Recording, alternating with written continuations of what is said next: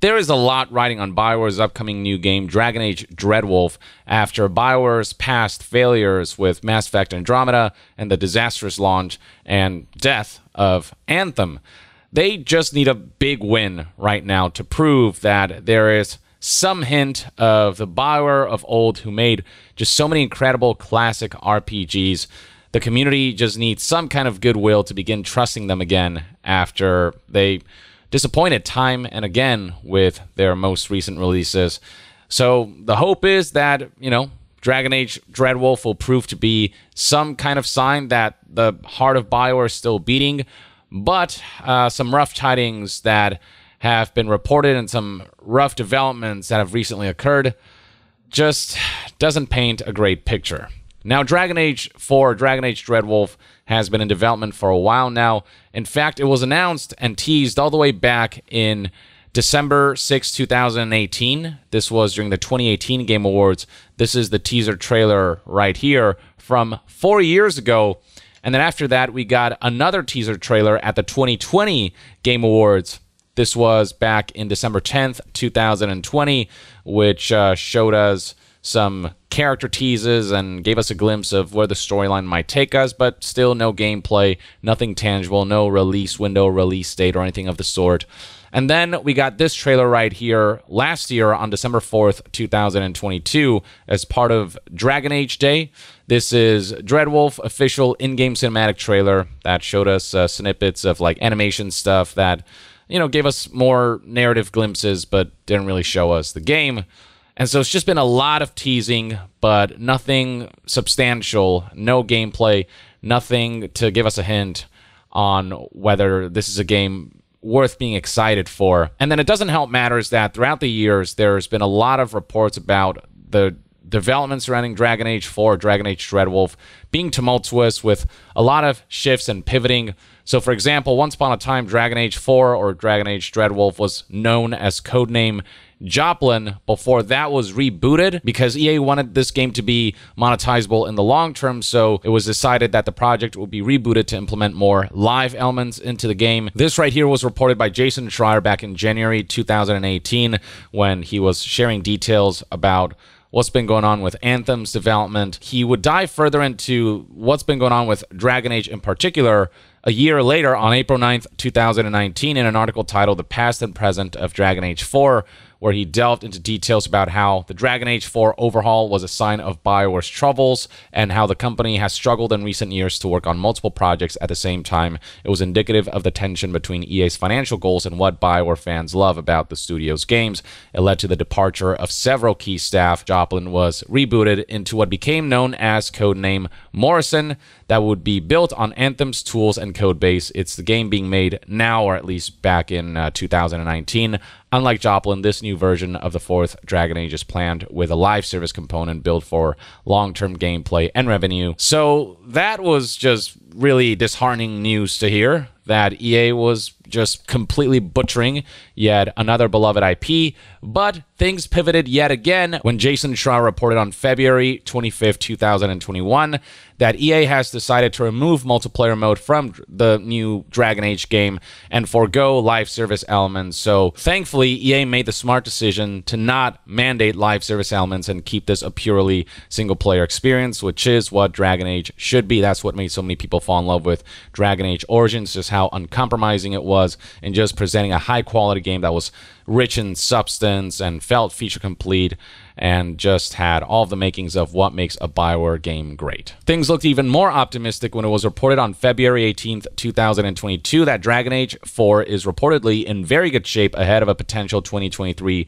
release. This was relayed by video games journalist Jeff Grubb. And then beyond that, more recently, earlier this year on March 27th, 2023, Video Games Chronicle reported that Bioware veteran Mark Darrah and the Mass Effect team are helping to finish Dragon Age 4, which at the time people interpreted as Dragon Age 4's development really ramping up, which might have indicated that there is light at the end of the tunnel, and that light is not too far away. But all of that optimism would be deflated by what Jeff Grubb reported just a few days ago. This right here is a podcast from Giant Bomb published on August 24th, 2023, where Jeff Grubb talked about what he heard from sources he's spoken to about the current state of Dragon Age Dreadwolf, and well as Video Games Chronicle transcribed here, Dragon Age Dreadwolf keeps getting delayed internally, report claims. Dragon Age Dreadwolf's release keeps getting pushed back internally at Bioware, according to Giant Bomb reporter Jeff Grubb. He discussed behind the scenes goings on at the EA studio with unnamed sources to get this information out there. Now, I'm very curious what happened between February 18th, 2022, and now, where back then it was reported that things were looking like they were shaping up really well, very good shape, said Jeff Grubb and now all of a sudden things are not doing so hot. All of this might also reframe how Mark Darrah, who left Bioware, was brought back in to help finish Dragon Age 4. Maybe it isn't a matter of just development ramping up, but also them needing like emergency help from a veteran who once helped push Anthem out to launch. Like the fact that Anthem had any kind of launch at all and was some kind of cohesive product, even if it was feature incomplete and technically not sound, was all due to Mark Darrah stepping in to provide some kind of management and vision for a project that was completely directionless and uh, whose ambitions could not match leadership's ability to execute. The end result to all of this is that back in 2022, it was reported that the game was targeted for a 2023 release, but now the game's target release window was moved to March 2024 a while ago, but it's currently planned to come out next summer at the earliest it's claimed. And Jeff Grubb believes that that release window is optimistic, believing that it's very likely that the game's release will get pushed back even further, probably to late next year, but possibly to early 2025. And while developers from the Mass Effect team, alongside Mark Darrah, were drafted to assist with the development of Dragon Age Dreadwolf, there is still a small group of developers, led by Mike Gamble,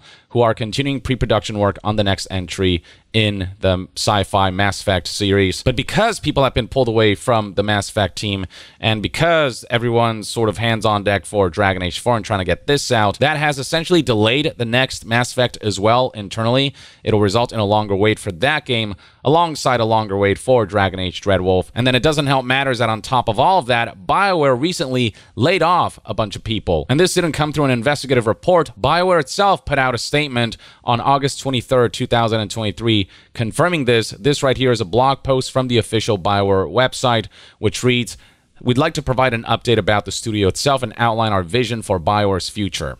In order to meet the needs for our upcoming projects, we must shift towards a more agile and more focused studio. It'll allow our developers to iterate quickly, unlock more creativity, and form a clear vision. Now, this right here is just a vague nothing burger. It doesn't explain much of anything, and things especially don't make sense when you look at who was laid off, which I'll get to in a bit. But they insist right here that change is not only necessary, but unavoidable. It means reorganizing our team to match the studio's changing needs. Again, just extremely vague about all of this.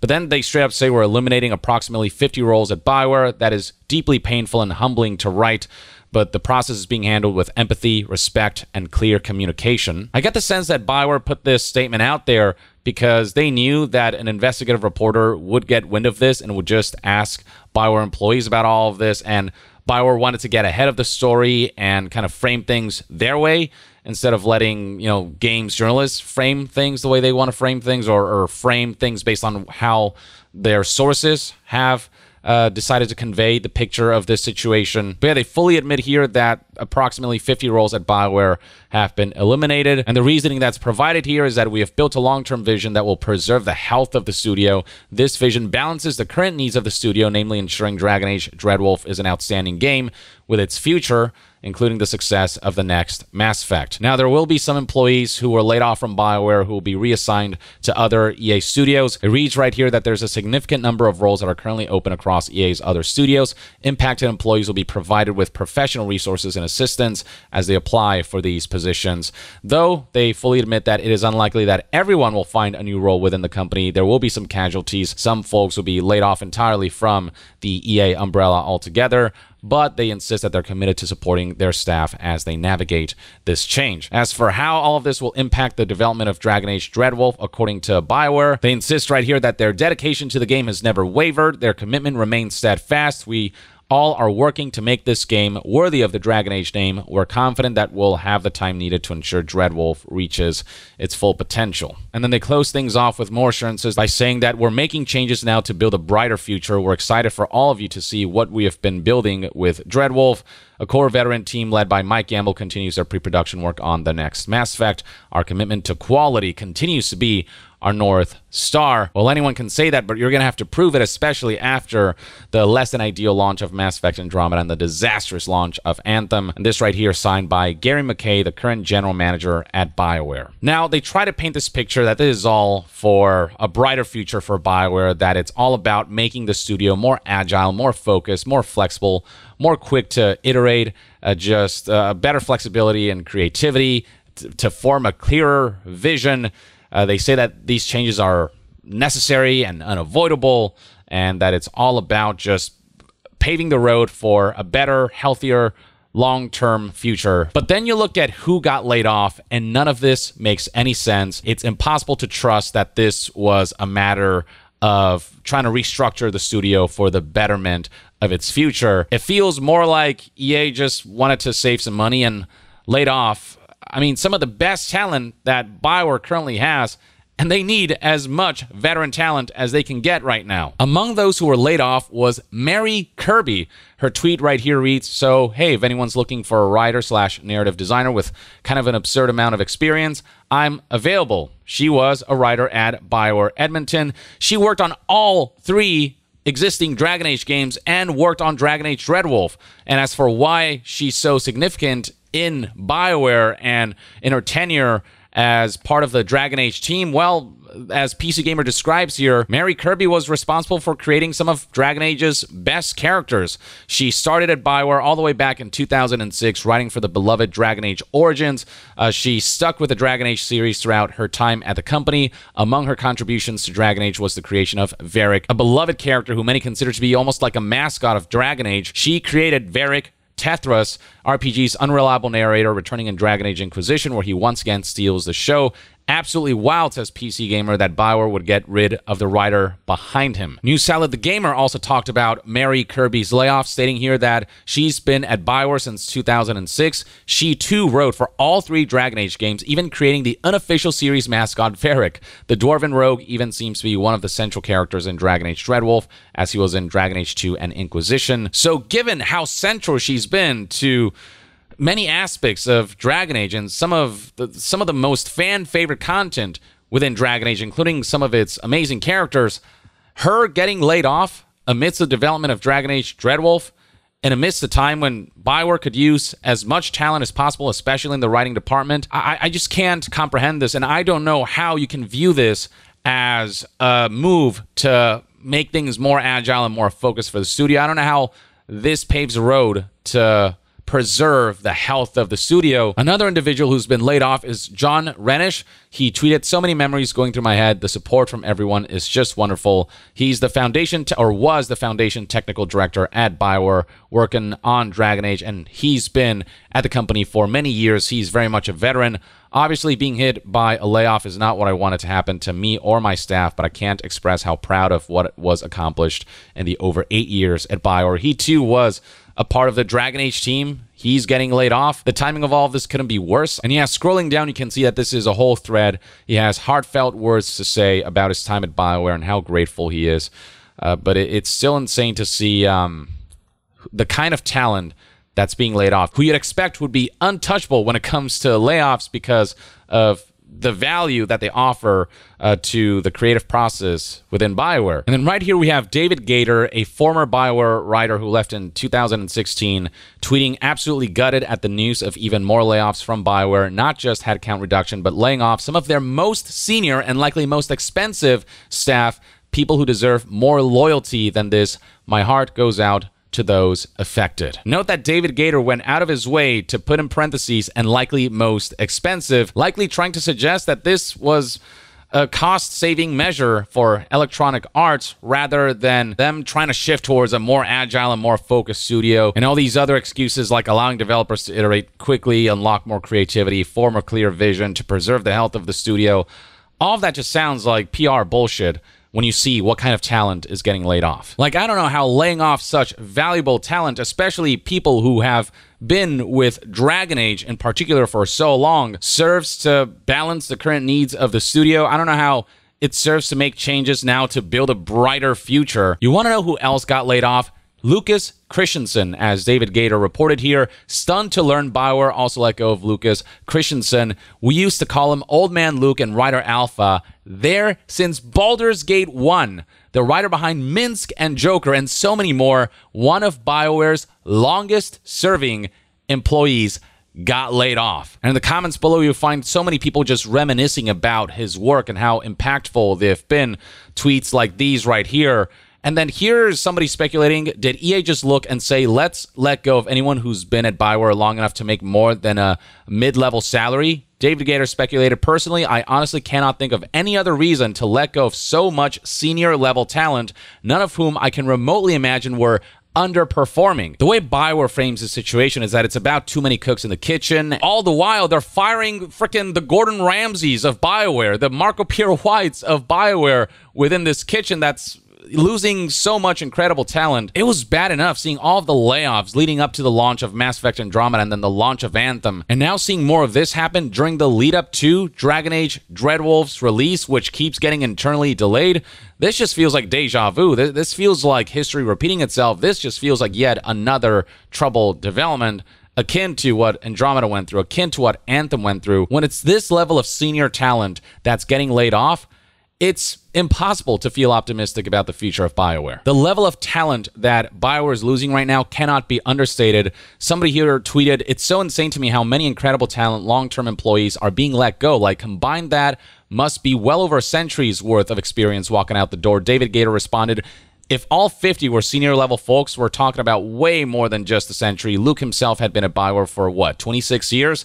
Now, there's no confirmation how many of these laid off employees were senior, but enough big names have been laid off where this is all just raising so many questions about the current state of BioWare and what EA is doing to the studio. And David Gaider, by the way, had commented back in May 2nd, 2023, about how BioWare and EA just show no loyalty to their writers who are the foundation of what made Bioware games so great, those narrative RPG experiences that they're so well known for. He tweeted back then, even Bioware, which built its success on a reputation for good stories and characters, slowly turned from a company that vocally valued its writers to one where we were quietly resented, with a reliance on expensive narrative seen as the albatross holding the company back.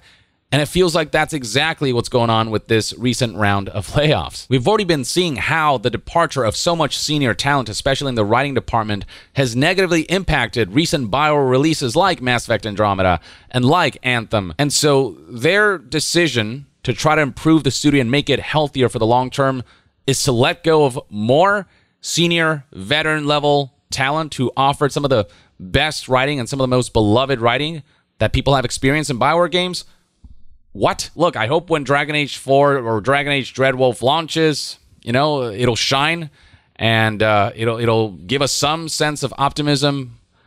But even then, you know, whatever projects are developed from then on won't have the backing of all of these amazing writers who are being let go left and right.